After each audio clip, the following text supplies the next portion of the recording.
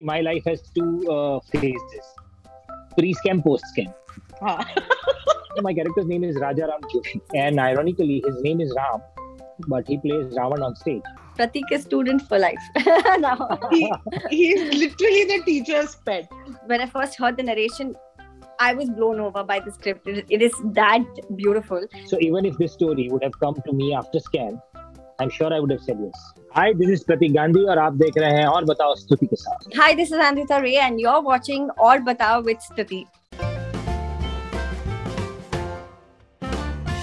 Welcome to yet another episode of और बताओ मेरा नाम है स्तुति और इस वक्त जो दो लोग मेरे साथ मौजूद हैं it's a film we all have been waiting for एक तो we are waiting for films to release in the theatre और फाइनली uh, आ रहे हैं प्रतीक गांधी एंड अंद्रिता रे वेलकम टू और बताओ thank you thank you for having us अच्छा मैं आपसे मेरा पहला सवाल प्रतीक आपसे है आप जरा बताइए अगर स्कैम आपके जीवन में नहीं होती और ये फ़िल्म आ रही होती how different would things have been very different yeah i don't think that uh, well i can't even see myself yeah. my life you know see my life has two uh, phases pre scam post scam true, true, and this is the film which has seen both the phases because we shot this film pre-scam. Pre-scam, kya baat hai. And now it is releasing post-scam. so cool, and it struck me when I was seeing the trailer of uh, introducing Pratik Gandhi. मैं कल ले, मतलब अब क्या introduce अब तो हो गया अब तो सब पता है हमें तो अब क्या introduce but I found that very sweet that you know कि ऑलरेडी आपको ओटीटी से इतना यू नो इतना टचवुड फ़ायदा मिला and now your film is coming I श्रोता this so much of curiosity about you too आपने साउथ में बहुत सारी फ़िल्में करी हैं और यहाँ पे लाइक आई सेड तो अब आप मुझे सच्ची सच्ची बताओ हाँ just between you and me like Prateek said कि इस फ़िल्म ने इनके दोनों फेजेस देखे हैं pre scam and post scam तो आपने इस बंदे के भी दोनों फेजेस देखे हैं। What would you say now well, I think Pratik is that kind of guy who won't really change no matter what the success yeah. uh, would be.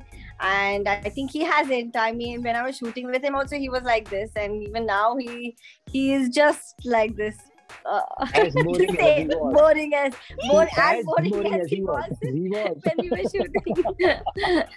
तो हमें तो yeah. ये बहुत ही ऐसे शांत और यू नो चुपचाप इनफैक्ट इनका अलग ही रूप अब जब इंटरव्यूज़ करो तो बहुत अलग लगता है ये हर्षद मेहता का किरदार फ्लैम्बॉयंट किरदार ही played and now the trailers that we have seen of Bhavai but वैसे कैसे है does he like talk. Yeah, he's a very serious actor. He's yeah. very serious, very dedicated. Most of the conversations I've had with Pratik, I've said it in most of my interviews, is always either about the scene, how do we improvise the scene better, how do we do this particular shot, and uh, talk only about movies. So he's very, very into.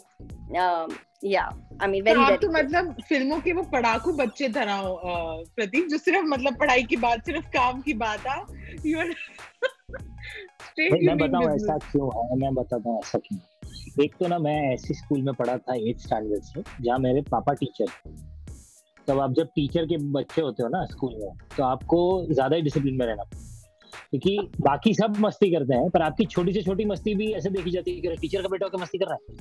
तो तुमको मस्ती allowed ही नहीं है। तो फिर मैंने रास्ते ऐसे ढूंढ रहे थे कि मस्ती करूँगा पर पकड़ा नहीं। तो, तो वो सुमड़ी में तो वो हाँ तो सुमड़ी में मस्ती करने वाला फिर I guess it has become a part of my character and my life but then Andrita always found me boring so I like student for life Pratik is student for life now he, he's literally the teacher's pet okay yeah. so so now but you're a front bencher Pratik no never yeah you look like that I was a backbencher for sure हम तो ना बहुत पीछे भी नहीं बहुत आगे भी नहीं बीच में कहीं बैठे बीच में। ये बैलेंस कब से मेंटेन हो रहा है कि ना कोई बैक बेंचर बोले और फ्रंट बेंच का तो भार ही नहीं उठाना। फ्रंट बेंचर का प्रेशर नहीं लेना और बैक बेंचर की बदनामी नहीं लेनी हम बीच में बैठेंगे very cool very cool. Okay now coming to this film which like you said has seen seen all of that और अब इसकी बहुत expectations बढ़ गई हैं। स्पेशल um, घबराहट हो रही है प्रतीक बिकॉज़ स्कैम के इतने आपके फैंस और अब तो मतलब everybody is good watch this की अब क्या कमाल होगा। हाँ यार मतलब ऐसा थोड़ा वो शो में जाने से पहले थर्ड बेल के पहले जो पेट में बटरफ्लाईज होते हैं ना कि यार जाके परफॉर्म करना है जाके परफॉर्म करना है। वैसा जनरली फ़िल्मों में होता नहीं है बिकॉज़ फ़िल्मों का जो हमारा काम होता है तो शूट हो चुका है। हाँ, अब फ़िल्म जब रिलीज़ होने वाली है हमने तो कर लिया हम कुछ कर नहीं पाएँगे इसमें अलग अब। तो जो हो गया वो तो हो ही गया है। पर इस फ़िल्म के साथ मुझे वो वापस बटरफ्लाई वाली फीलिंग है थोड़ी बहुत because this is my first Hindi film as lead protagonist और तो वो एक रहता है कि how are people going to react you know वो उस किरदार से जुड़ पाएँगे कि नहीं, वो इमोशन से जुड़ पाएँगे कि नहीं। हमने बहुत कुछ नया नया एक्सपेरिमेंट किया है ट्राई किया है, वो वर्क करेगा कि तो वो थोड़ा बहुत बटरफ्लाई वाला हिसाब तो है अभी। आई एम वेटिंग कि जल्दी अब 22 अक्टूबर आ जाए। क्योंकि अब तब तक वेट करना बहुत डिफ़िकल्ट है यार। Yeah seriously i'm also equally excited. I just can't wait for the release. And now that it's 100% occupancy in most states i'm even more yes, excited. yes yes. तो ये बहुत शुभ घड़ी है इसको रिलीज़ करने के लिए। और बड़ी उत्सुक हम भी हैं। अच्छा ट्रेलर से तो बहुत इंटरेस्टिंग अभी तक चीज़ें लग रही हैं। How much of it can you reveal आप दोनों से मैं कहूँगी अपने अपने किरदार के बारे में और फ़िल्म के बारे में। So uh, i think uh, I mean, when when I had the, the, my first ever narration, it was very descriptive, and uh, you know, the first scene of the movie goes um, like a Nautanki company is mm. traveling in a bus into the small little town in Gujarat in the 80s, uh, performing Ram Leela on stage so this is the this is the gist of mm. how mm. the movie mm. begins and what the movie is about and it's about two Nautanki artists um, me who plays Sita on on stage and uh, Pratik who plays Ravan on stage falling in love and the complexity of it and um, yeah I think when I first heard the narration I was blown over by the script. It, it is that beautiful. Uh, and now when I see the trailer and everything coming to life, I'm just uh, super excited but it is uh, as the name suggests bhavai i think pratik would best yeah. explain what that name means because it's a gujarati word and yeah as you know the movie's uh, title was changed so pratik pratik aap uh, bhavai i love the way he describes the name i just love the way भवाई के मतलब जैसे एक तो अर्थ है इसका it's a theatre form of Gujarat, you know, mm. an old age old theatre form of Gujarat, where two uh, actors will come on stage uh, as Ranglo and Rangli. They are basically Ranglo and Rangli. They are called Ranglo and Rangli, and they are storytellers. So they'll become the narrator and they'll take you through whatever the story is. That's how Bhavai works. Bhavai also has a connotation which means chaos. एक तो नाटक है दूसरा chaos ऐसा and our film has both and film has both because the actors those who are performing uh, characters on stage uh, because of those characters what chaos happens in their life so that's how जैसे हम real life में भी बोलते हैं ना कि यार ज़िंदगी में नाटक हो गया है। अब ये तो पूरा ज़िंदगी में यार नौटंकी हो रही है आज के। लिए सिमिलरली गुजराती में भी ऐसे तो गुजराती में भी मतलब बोली में ऐसा बोला जाता है कि जैसे एक फ़िल्म आई थी भवनी भवाई। सालों पहले Gujarati the most celebrated Gujarati film Bhavni Bhavai means ज़िंदगी का नाटक और ज़िंदगी का क्योस सिमिलरली मेरी Gujarati film which is one of the most successful Gujarati film लवनी Bhavai. so it pyar ka chaos pyar ka natak is it what it means and that's how i guess bhavai also depicts uh, the film the way we wanted it to be the only thing is that bhavai has no other meaning in any other language yeah so uska ek tha hai वैसा बाकी as far as the character is concerned so my character's name is raja ram joshi And ironically, his name is Ram, but he plays Ravan on stage. And that's the difference uh, so, uh, that the society forgets. Right. And he's not being seen as what he is, but he's hmm. being seen as what he performs. And that's how the entire thing works. So it has a lot of layers, a lot of metaphors, and it's a sweet musical love story between two very innocent people. Yeah, and there's a lot of purity in the love that uh, yeah, yeah. these two that they share. तो एक तो मैं देख रही थी ये भवाई का बड़ा ही अच्छा कनेक्शन है शुभ कनेक्शन है ना आपकी और भी फिल्म्स हिट हुई है तो hopefully that will rub off here as well and there was a little bit of Bhavai and natak and cures that also happened जब नाम कुछ और था So, um, uh, you know, was that demoralizing for the team? I know a lot of trolling happened, and I thought that was very unnecessary. क्योंकि किसी ने picture नहीं देखी एक ट्रेलर के बेसिस पे आप पीछे पड़ जाओ एक पूरी टीम के। तो उसका शायद रीजन ऐसा है because see as far as the names are concern as far as the script are concern we are just actors so there we don't have any control whatsoever ज़्यादा से ज़्यादा तो क्या होता है कि आप जब सीन में सब डिस्कस करते हैं कि ये नाम भी सही है ये नाम भी सही है उससे ज़्यादा हमारा कोई रोल ही नहीं we don't discuss having said that what is disheartening or heartbreaking or demoralizing that merely just looking at the teaser and trailer people have created their own story in their mind yeah. which is not the film yeah. so i am finding it very difficult to even talk about i'm sure once they watch the film uh, all their questions will be put at rest and they'll feel okay, okay, it was it, it, it has nothing to do with it. So the only request to people at large through your platforms that whenever anything comes in your mind, just have some patience, watch it and then react because reaction is any which is going to be there. Right. You can always react. अब पाँच दिन पहले करो पाँच दिन बाद में करो कुछ फ़र्क नहीं पड़ेगा क्योंकि आप जहाँ गाली देने वाले हो प्लेटफॉर्म भी वैसे का वैसा है हम लोग भी यही हैं आप लोग भी यही हो तो जो बोलना है थोड़ा देख के बोल दो फ़र्क क्या पड़ेगा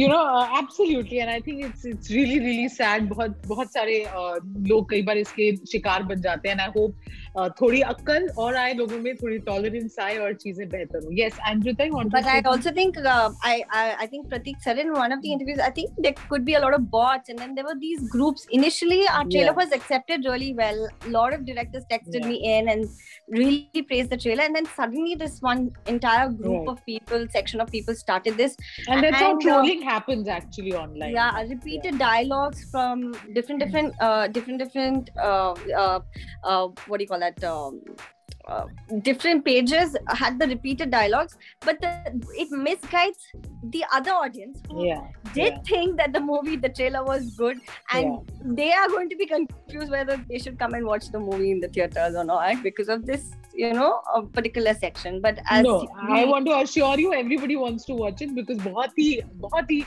vibrant और और इंटरेस्टिंग जितना जहाँ तक हमें ट्रेलर से पता चला है we are all very sure Stuti that once they watch the film everybody will be happy but you just have to watch it i mean have some yeah, patience just yeah, watch it yeah, yeah. yeah.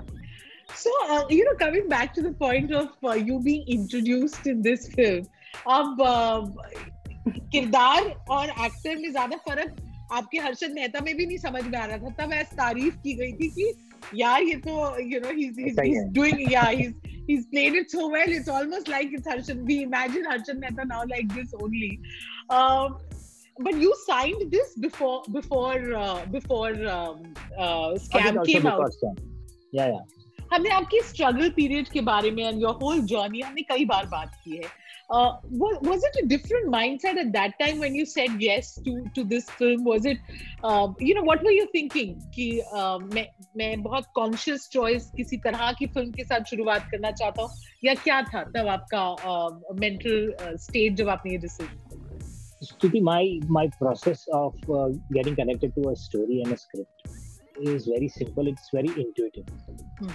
and I have an organic uh, thought process about it. If I read the script, if I get the narration, right. if it excites me enough to be a part of it, and I do it. Hmm. But it has it, it, happens in such a way that I have no regrets of whatever hmm. that I've done. Hmm. hmm. So even if this story would have come to me after scan, I'm sure I would have said yes. Right. So nothing is changing that way, you know? because I, I, see it in a way where I get to learn something, I get to create some emotions which are really complex, and right. I get to I get to portray a character which can touch a lot of hearts. It should work with those emotions. That, that's it.